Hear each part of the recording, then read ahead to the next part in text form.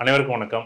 அச்சய இலக்கணம் பദ്ധதி ஜோதிட முறையில் இந்த ஜாதகத்தை ஆய்வு பண்ண போகிறோம் ஜாதகருடைய கேள்வி என்ன அப்படின்னா எனக்கு ஏன் முப்பத்தாறு என்னுடைய வயது முப்பத்தாறு எனக்கு ஏன் திருமணம் நடக்கலை அப்படின்னு அந்த கேள்வி கேட்குறாரு. இந்த பெண்ணோட ஜாதகத்தில் அந்த கேள்வி கேட்கும்போது எவ்வளோ வலியும் வேதனையும் இருக்கும். நினச்சி பாருங்க. சார் எனக்கு அந்த தசை நடக்காது இந்த தசை நடக்காது இந்த தசையில் கல்யாணம் பண்ணக்கூடாது. உங்களுக்கு காலம் கடந்தான் கல்யாணம் முப்பது வயசுக்கு மேலே கல்யாணம் இப்படியெல்லாம் சொன்னாங்க.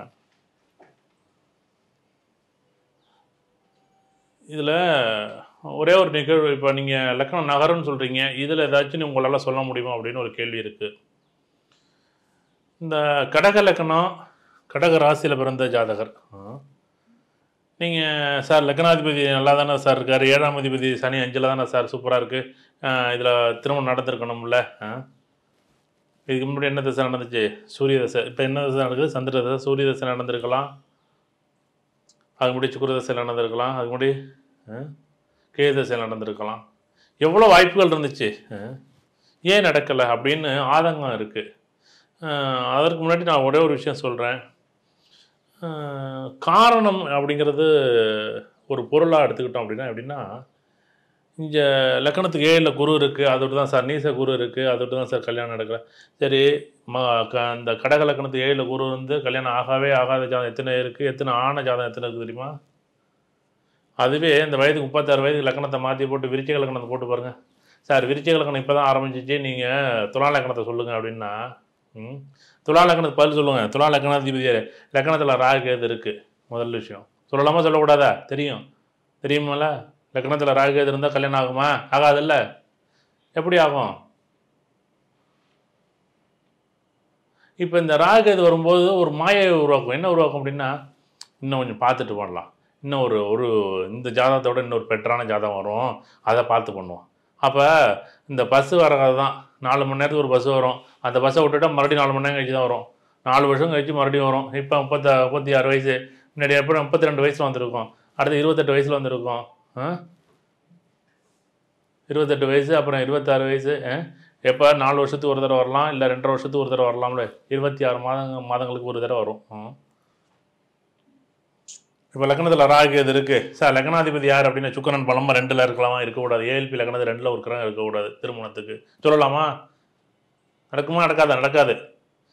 சரி லக்கணத்தில் ராகு எது இருக்குது ஒன்று அடுத்தது லக்கணத்து ரெண்டில் சுக்கரன் இருக்குது ரெண்டு மைனஸு மூணாவது ஏழாம் அதிபதி பன்னெண்டில் செவ்வாய் பன்னெண்டில். ஒன்று ரெண்டு நாலு எட்டு பன்னெண்டில். செவ்வாய் இருந்தால் தோஷமாக தோஷம் இல்லையா? அப்படின்னா இவர்கள் குடும்பத்தின் மூலமாகவே கலைக்கப்படும் இந்த ஜாதகம். என்னென்னா இந்த ஜாதகத்துக்கு வருமானத்தின் பொருள் மேலே உள்ள ஆசைகள் மூலமாக இந்த ஜாதகத்தில் பத்து வருஷம் அவுட் இப்போ இது லட்சம் வருஷம் போயிருக்கு? இதில் வந்து சார் மூணு வருஷம் தானே சார் போயிருக்கு அப்போ முப்பத்தி மூணு வயசுலேருந்து இருபத்தி மூணு வயசு வரை என்ன இலக்கணம் ஒரு கரெக்டான ஒரு பெண்ணுக்கு வயது இருபத்தி ஒன்றுலேருந்து முப்பத்தி மூணு முப்பத்தி ஒன்றுக்குள்ளே கல்யாணம் நடக்கணும். இருபத்தி மூணுலேருந்து முப்பத்தி மூணு லக்கணம் தொழா லக்கணம். அந்த லக்கணத்தில் ராகேது இருந்தது தொட்டு முப்பத்தி மூணு வயசுல கல்யாணம் நடக்கலை. சரி முப்பத்தி மூணு வயசு முறை லக்கணம் விருச்சிக லக்கணம் அப்போ நாள் நடந்திருக்கணும்ல அப்படின்னா விசாகம் நாள் நடந்திருக்குமா அப்படின்னு நடக்காது. விசாகம் நாள் நடக்காது. அடுத்தது அடுத்தது அனுச நட்சத்திரம் ஒன்றாம் பாதத்தில் ஒரு வாய்ப்பு இருக்குது அனுச நட்சத்திரம் ஒன்றாம் பாதம் ஏன் வாய்ப்பு இல்லை அப்படின்னா இந்த லக்கணத்துக்கு மூணில் குரு இருந்தால் லக்கணத்துக்கு மூணில் குரு இருந்தால் கண்டிப்பாக இந்த காலகட்டத்திலையும் நடக்காது. இப்போ தான் அனுச நட்சத்திரம் அனுச நட்சத்திரம் ரெண்டாம் இப்போ தான் ஆரம்பிச்சிருக்கு. இப்போ தான் ஒரு வாய்ப்பு இருக்குது அந்த க- ஜாதகம் கல்யாணம் நடக்கும். இவ்வளோ விளக்கம் எதுக்கு நாங்கள் கொடுக்குறோம் அப்படின்னா இதை புரிஞ்சுக்கணும் அப்படிங்கிறதுக்காக கிடையாது.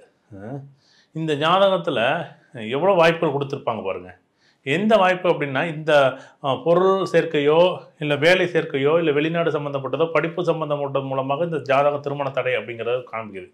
இருபத்தி மூணு வயதில் முப்பத்தி மூணு வயசுக்குள்ள மூணு திருமண வாய்ப்பும் இவங்க மிஸ் பண்ணியிருக்காங்க. இவங்க சித்திரை நட்சத்திரம் மூணாம் மாதம் திருமண வாய்ப்பு வந்துச்சு அழகாக பண்ணி இருந்திருக்கலாம் வெளிநாட்டு மாப்பிள்ள அழகாக வந்து கேட்டாங்க கொடுத்துருக்கலாம். இருபத்தி மூணு வயசுல இந்த பொண்ணு கல்யாணம் நடக்கணும். வாய்ப்பு வந்துச்சு. இல்லை இல்லை நான் வெளிநாட்டு மாப்பிள்ளைகள்லாம் கொடுக்க மாட்டேன்னு சொன்னால் அப்புறம் எப்படி நடக்கும்? ஆ? கிரகங்கள் மேலே உடனே சொல்கிறது எனக்கு செவ்வாய் பன்னெண்டில் இருக்குது செவ்வாய் பன்னெண்டில் இருந்தால் என்னங்க? வெளிநாட்டு மாப்பிள்ளை கிடப்பாங்க. அப்புறம் வேற என்னங்க? நான் வெளிநாட்டு மாப்பிள்ளையை கொடுக்க மாட்டேன்னு சொல்லிட்டு எங்கள் வெளிநாட்டு மாப்பிள்ளை கொடுக்க மாட்டேன்னு சொல்கிறது யாராக இருக்குன்னா இந்த பொண்ணோ இந்த பையனோ சொல்ல மாட்டான். குடும்பத்தில் ரெண்டு பேர் இருப்பாங்க பாருங்கள் நல்ல பெரியவங்கன்னு. எப்படி? மற்ற நேரத்துலலாம் வழி சொல்ல மாட்டாங்க. கரெக்டாக இந்த கல்யாணத்துக்கு முன்னாடி முன்னாடி வந்து நிற்க ரெண்டும் எப்படி நிற்கும் ஏப்பா அதெல்லாம் நம்பிட்டு பொண்ணை வெளிநாட்டு கொண்டு கொடுத்துட்டா. ஏன்னா அமெரிக்காவிலன்னா என்ன ஐநூறு மணி நேரம் அங்கிட்டா இருக்குது